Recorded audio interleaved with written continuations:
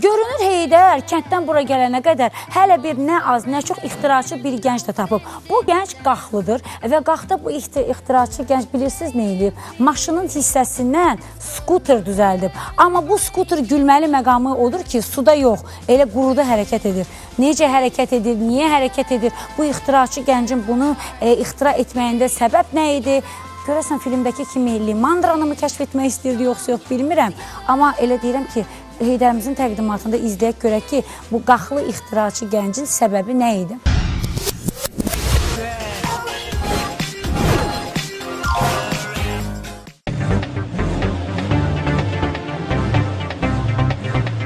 Qaxa yolunuz düşərkən kəndin daşlı kəsəkli yolunda skuter görsəz təəccüblənməyin.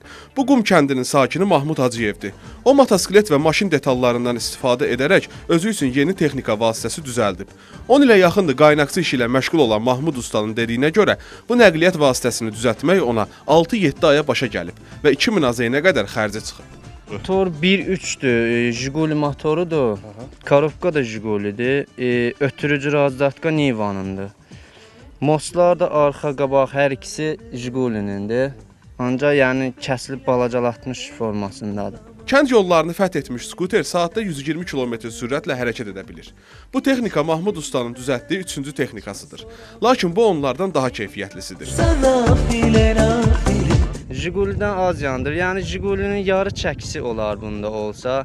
Ona görə motor güclü, çəki az, sürət çox, güc çox, benzin az yandırır. Deyirəm bəlkə bunu bir layihə kimi təqdim eləyəsən, bunu öz adıma patentləşdirəsən, yəni bir bəlkə sabah Olsa- səndən icazə alsınlar bunu hazırlayanlar.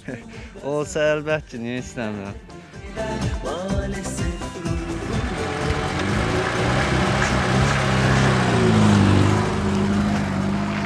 arabası var Güzel güzel şoförü